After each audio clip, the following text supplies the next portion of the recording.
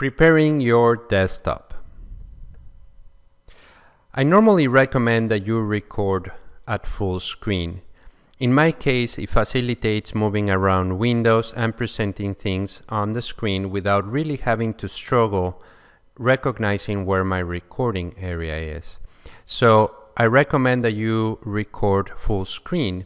And if you're going to be recording full screen, the dimensions of your recording really matter.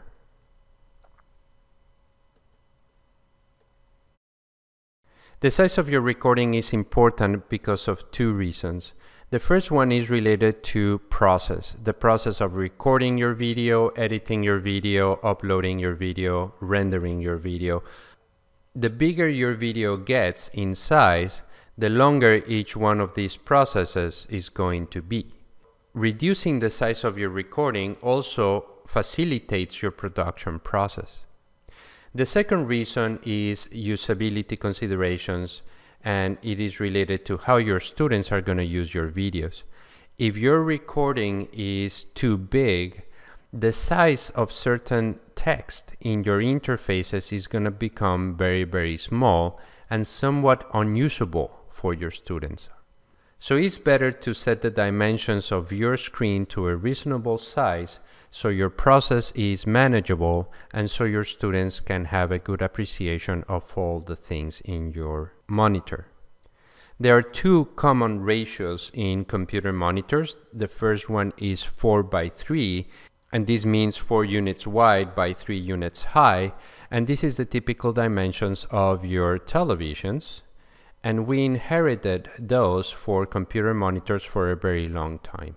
The way that you can calculate these 4 by 3 ratio dimensions is by multiplying each one of these numbers by a different factor.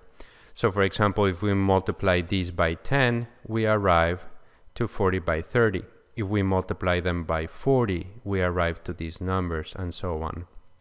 For this type of computer monitors with this ratio, I would like to recommend that you use a maximum of 1024 pixels wide by 768 pixels high.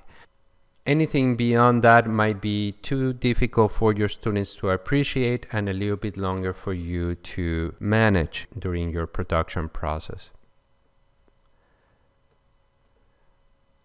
The other common ratio is 16 by 9 and this is following more of a cinema-like type of monitor and in this case the dimensions that I would like to recommend or the maximum recommended dimensions that I would like to give you is 1280 pixels wide by 720 pixels high.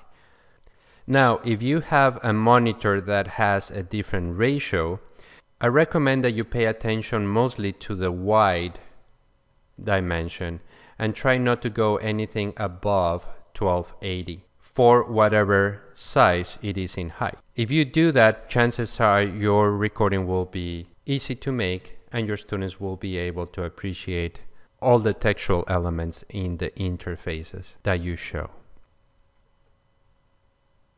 Also, you can prepare your desktop by cleaning it.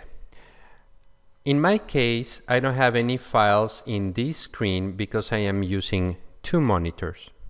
And if I were using only one monitor, chances are I would have something like this. I would have my computer, I would have my recycle bin, and I would have a folder where I will drop all of my files and all of my programs into that folder so my screen is completely clear. In this case, because I have two monitors, I have the ability to take this out of here and just leave an empty recording area. You can also see that I selected to have a black background. And this solid background facilitates a lot my work because there are no distractions for my students or personal images that, um, that later on I will not like to have in my recordings. So the way I prepare my desktop is by clearing all the icons and also by setting up a solid color for the recording. Finally, I recommend setting a big cursor. The cursor, as you have been seeing in my recordings, is a way to call the attention of your viewers to different things in your recording. The bigger the cursor is, the better it is your ability to direct your attention to different things. So I would recommend that you change the cursor, not really because you need it, but mostly because your students will get a better experience from your recordings if you do so.